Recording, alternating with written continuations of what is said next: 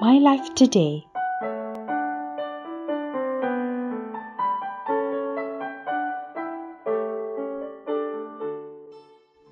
A Progressive Life.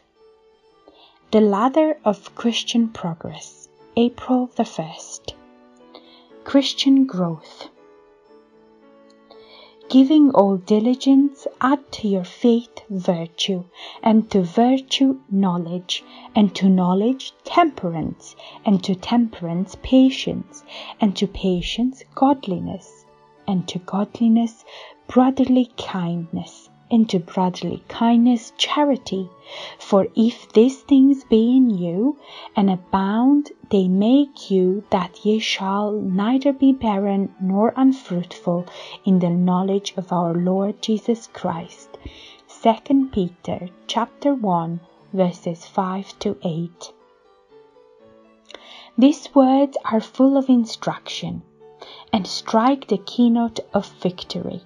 The apostle presents before the believers the ladder of Christian progress, every step of which represents advancement in the knowledge of God, and in the climbing of which there is to be no standstill.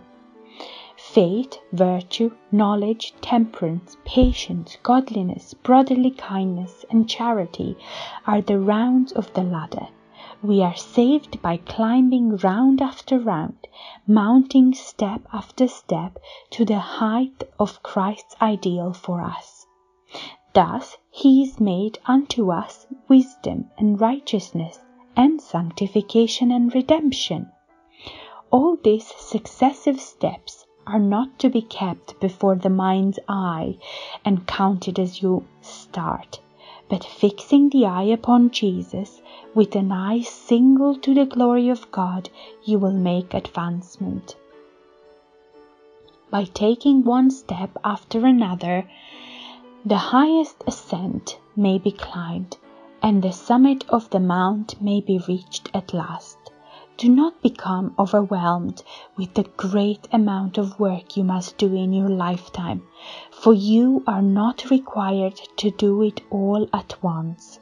Let every power of your being go to each day's work, improve each precious opportunity, appreciate the helps that God gives you, and make advancement up the ladder of the progress and step by step Remember that you are to live but one day at a time, that God has given you one day, and heavenly records will show how you have valued its privileges and opportunities.